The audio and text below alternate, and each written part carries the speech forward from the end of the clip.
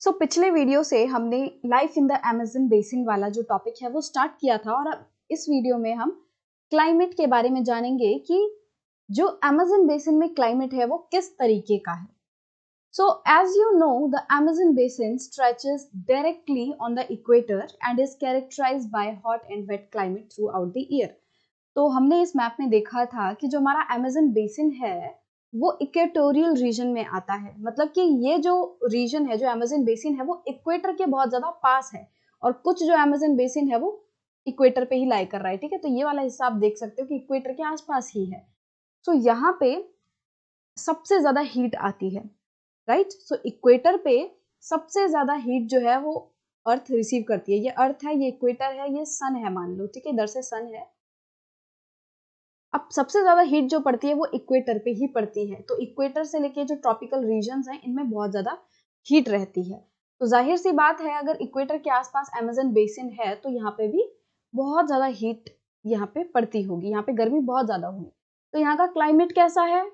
Hot climate है।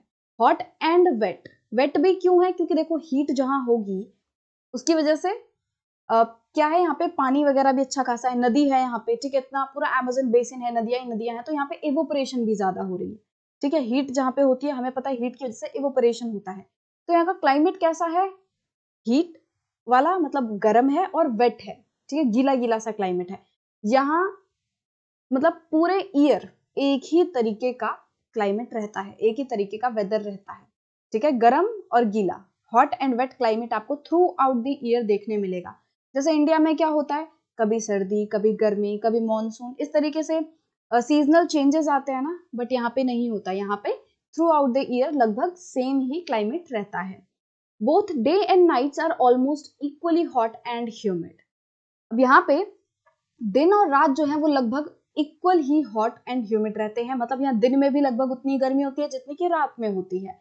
और humid मतलब क्या होता है? ह्यूमिडिटी मतलब होता है कि presence of moisture in the air कि हमारी जो हवा है, उसमें कितनी नमी है, उसको हम कहते हैं ह्यूमिडिटी तो दिन और रात में लगभग सेम ही गर्मी सेम ही जो नमी है हवा में, वो बनी रहती है. द स्किन फील स्टिकी अब यहाँ पे गर्मी बहुत है तो ज़ाहिर सी बात है, पसीना आएगा, बहुत ही अनकंफर्टेबल आपको फील होगा स्टिकी स्टिकी जो स्किन है आपकी फील करेगी. It rains almost every day that too without much warning यहाँ पे बारिश लगभग रोज होती है और वो भी बिना किसी वार्निंग के मतलब कि यहाँ पे आप देखोगे अचानक से धूप निकल रही है और दो मिनट बाद यहाँ पे बारिश होने लगेगी, एकदम तेज तेज से।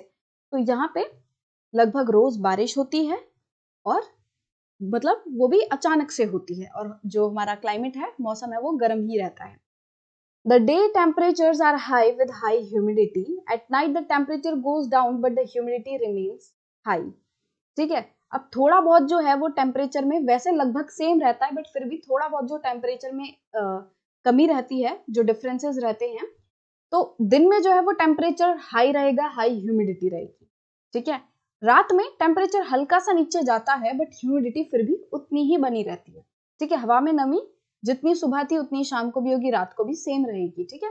और टेम्परेचर थोड़ा बहुत ऊपर नीचे होता ही है कि वैसे तो दिन में भी गर्मी है, रात में भी गर्मी है बट टेम्परेचर दिन में फिर भी बहुत ज़्यादा है और रात को हल्का सा कम है तो इस तरीके का यहाँ पे पूरा क्लाइमेट रहता है। ठीक है? तो मैं आपको समराइज कर देती हूँ कैसा यहाँ का क्लाइमेट है। हॉट है वेट है। मतलब कि यहाँ गर्मी रहती है, चिपचिपा सा आपको फील होगा, हवा में नमी बहुत ज़्यादा रहती है।